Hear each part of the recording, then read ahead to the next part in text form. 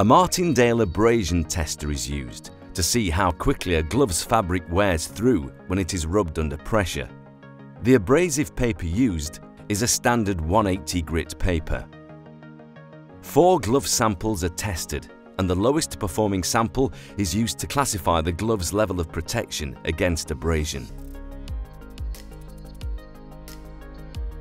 The samples are rubbed against the abrasive paper for 100 rubs, then inspected for wear.